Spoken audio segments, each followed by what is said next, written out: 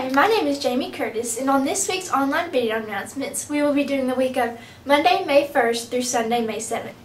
On Monday, May 1st, we have the Algebra 1 EOC at the high school, and Teen Court is at 5 p.m. On Tuesday, we have a U.S. History EOC at the high school and an FFA plant sale at the greenhouse.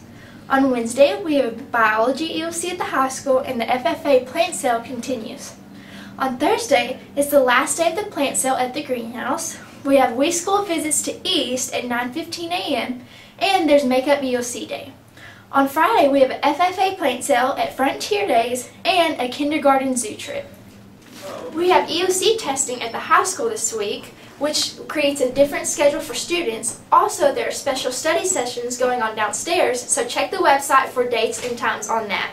Also, senior pictures are on Tuesday at 8.45 at the new gym and the football stadium, so check the details on the website. Also, baseball playoffs are next week, so we will keep you posted on that. Lastly, we have an interview with Miss Smith about their Camp Half-Blood, which she's going to tell us all about that. And we have an interview with Miss Jennings about a special science lab they did. And we have a couple more seniors who are doing uh, Where You Headed interviews. Hey, Miss Smith, will you tell us about Camp Half-Blood? Camp Half-Blood is the sophomore version of a research paper. The sophomores do research on different gods, goddesses, and mythological creatures, and they use their knowledge to put on a Greek festival for the seventh graders. The seventh graders come over and they will play a game, a virtual game where they travel from booth to booth answering questions about various gods, goddesses, and mythological creatures. As they are going through this game, the we have the guest speakers that come in, or guests that come through, such as Medusa, who freezes them. Uh, we have a Minotaur this year, which is new from the last two years, and he will put them through their his own secret maze in order to trap them.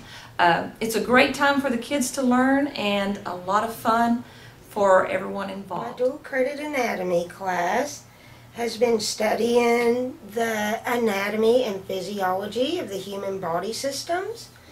And we have dissected fetal pigs in class so that they can see how all the systems work and function together. Um, we also used a, fe a, fetal pig because they are used in CSI investigations. Um, and the fetal pig has the body that is most similar to humans. Um, the reason they use pigs in CSI is so that they can find the uh, bullet pathway and the, the distance from the human body when they shoot can tell you how much damage may be done from the certain distance.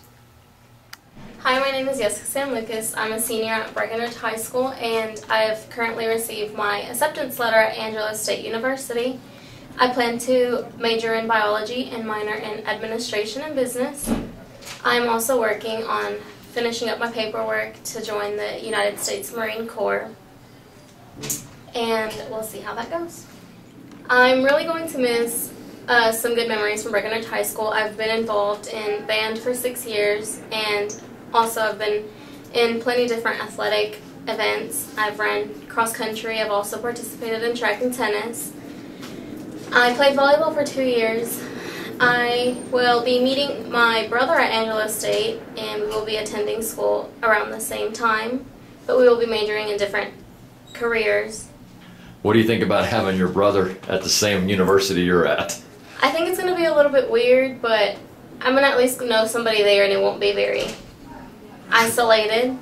And it'll kind of just remind me of high school. We were in high school two years together. Well, and Eduardo's a really cool kid, so. yes, he's very sweet. I really enjoy him and he's like my best friend. Well, thank you, Jessica. Thank you. Hi, my name is Hailey Robertson and I am a senior at Breckenridge High School and I'm excited to report that I got my acceptance letter to Texas Tech University.